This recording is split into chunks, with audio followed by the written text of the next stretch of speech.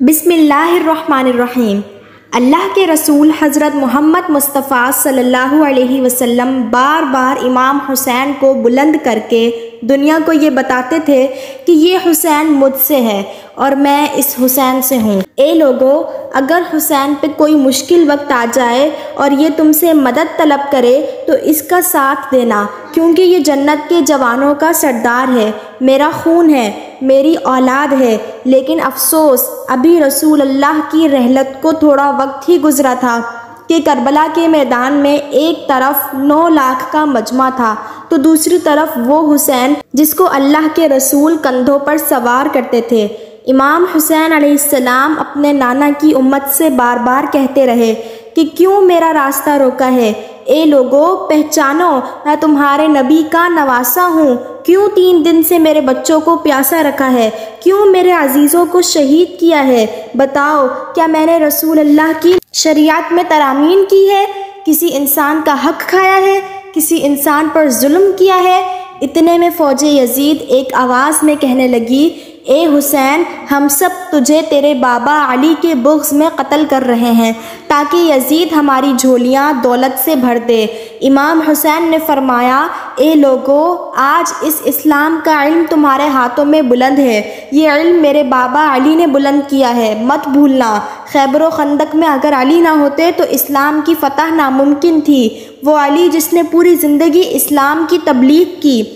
हक को बुलंद किया, रसूल अल्लाह की हिफाजत की और इस अली को ये अजर दे रहे हो, ए लोगो, बताओ, अल्लाह के रसूल ने बार बार मेरे बाबा अली का हाथ बुलंद करके फरमाया था कि जहाँ हक होगा, वहाँ अली होगा, जहाँ अली होगा, वहाँ हक होगा। और आज इस अली और औलाद रसूल को ये सिला दे रहे हो, इतने में यजीद के सिपा सिलार ने देखा कि कहीं फ़ौज में बगावत ना हो जाए। ए शिमर, क्या देख रहे हो? हमला करो। बस लाखों की फ़ौज ने जब रसूल अल्लाह के नवासे पर हमला किया, इमाम हुसैन आसमाम ने अल्लाह का नाम लिया और तलवार को निकाला। तारीख गवाह है। एक तरफ़ लाखों का मजमा और एक तरफ़ तीन दिन का भूखा प्यासा हुसैन इबन अली है। ज़मीन पर इस तरह की जंग पहले नहीं देखी थी कि तन्हा इंसान लाखों के मजमे को इस तरह से पार कर रहा है कि फ़ौज अशकिया वापस पलटकर भागने लगी। इमाम हुसैन फ़ौज यजीद से मुखातिब होकर फरमाते हैं तीन दिन के भूखे की जंग देखो, तीन दिन के प्यासे की जंग देखो, रसूल के इस नवासे की जंग देखो। इसकी जंग देखो जिसका जवान भाई मारा गया, जिसके जवान बेटे को नज़रों के सामने कत्ल किया गया, जिसने अपने हाथों से अपने बेटे की कब्र बनाई। इमाम हुसैन शेर की तरह फ़ौज यजीद से लड़ रहे हैं। इतने में आवाज़ें गायब आती है, हुसैन, तेरा अल्लाह तुझसे राज़ी हुआ। बस सदा का सुनना था कि इमाम हुसैन सलाम ने अपनी जुल्फ़िकार को थाम लिया। इतने में उमर बिन साद कहता है कि शिमर क्या देख रहे हो? ये अली का शेर है। इसको मार देना नामुमकिन है। जाओ, खैमों को आग लगा दो। बस कुछ जालिमों ने बीबियों के खैमों को आग लगा दी और कुछ इमाम हुसैन को तीर मारने लगे। इमाम हुसैन कभी बीबियों के खैमों की तरफ़ बढ़ते हैं तो कभी फ़ौज की तरफ़ जाते हैं। उमर बिन साद और शिमर ने फ़ौज को चार हिस्सों में तकसीम कर दिया और ये कहा कि कोई भी हुसैन के करीब न जाए। जिसके पास जो चीज़ है, वो दूर से हुसैन को मारे। जिसके पास नेज़ा था, उसने नेज़ा मारा। जिसके पास तीर था, वो तीर मारता रहा। जिसके पास बर्छियाँ थीं, वो बर्छियाँ मारने लगा। तारीख़ ने लिखा, जिसके पास मारने के लिए कुछ ना था, वो करबला की गर्म ज़मीन से मट्टी उठाकर इमाम हुसैन की तरफ़ फेंकता रहा। इमाम हुसैन अलैहिस्सलाम के जिसम मुबारक पर हज़ारों ज़ख्म लग गए। आपके जिसम मुबारक पर इतने तीर थे कि आपका जिसम मुबारक नज़र नहीं आ रहा था।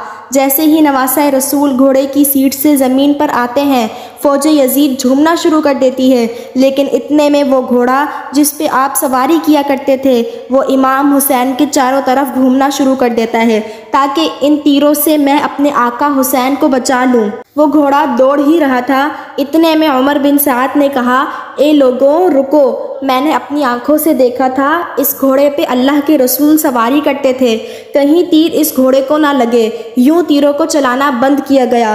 अफसोस है, इन लोगों को इस घोड़े का एहतराम मालूम था, जिस पर रसूल अल्लाह सवारी किया करते थे। लेकिन उस हुसैन का एहतराम भूल चुके थे, जिनको अपने कंधों पर सवार करके पूरी उम्मत को दिखाया करते थे।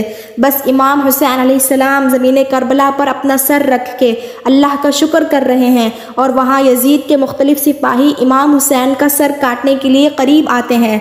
जो भी करीब आके इमाम हुसैन को देखे उसे इमाम हुसैन के चेहरे पर रसूल अल्लाह का चेहरा नज़र आए और वो चीख के दूर चला जाए। इतने में शिमर कहने लगा, ये काम मुझसे ही होना है। जैसे ही शिमर ने खंजर इमाम हुसैन के गले पर रखा तो वो देखे कि इमाम हुसैन के लब हिल रहे हैं। इसने सोचा, हमने हुसैन का पूरा ख़ानदान कत्ल कर दिया। तीन दिन तक हुसैन के बच्चों को प्यासा रखा। शायद हुसैन हमें बददुआ दे रहे होंगे। सुनने के लिए कान करीब करे तो क्या सुना कि इमाम हुसैन अलैहिस्सलाम अल्लाह के दरबार में अल्लाह की नेमतों का शुक्र अदा कर रहे हैं? अल्लाह तेरा शुक्र है कि इस अजीम इम्तिहान के लिए तूने इस हुसैन को चुना। इतने में इमाम हुसैन ने आँखें खोली और शिमर से कहा, ए शिमर, क्या तू नहीं जानता मैं रसूल अल्लाह का नवासा हूँ, जन्नत का सरदार हूँ, हक पर हूँ, बेजुर्म हूँ? शिवर ने कहा हाँ मुझे मालूम है। फिर आपने फरमाया तो क्यों कत्ल कर रहे हो? शिमर ने कहा, ताकि यजीद मेरी झोली दुनियावी दौलत से भर दे। शिमर ये कहते कहते इमाम हुसैन का गला काटता रहा। फौज यजीद मुसलसल झूमती रही। इमाम हुसैन के सर मुबारक को नोक पर बुलंद कर दिया। इमाम हुसैन के सर कलम होने के बाद सदात को लूट लिया गया। बीबी सकीना को तमाचे मारे गए। रसूल अल्लाह की नवासियों के सरों से चादरों को लूट लिया गया और इमाम हुसैन के जिसम मुबारक की तोहन करने लगे। तारीख़ ने लिखा है कि इमाम हुसैन के जिसम पर जो जो चीज़ें थीं, उनको लूटने लगे। इतने में एक शख्स इमाम हुसैन के जिसम के करीब आया। इमाम हुसैन के हाथ में एक अंगूठी थी। उतारने की कोशिश की, ना उतरी। वो जालिम उंगली काट के अंगूठी ले गया। आपके जिसम मुबारक को रस्सियों से बाँध के करबला की गर्म ज़मीन पर इधर से उधर फेरा गया।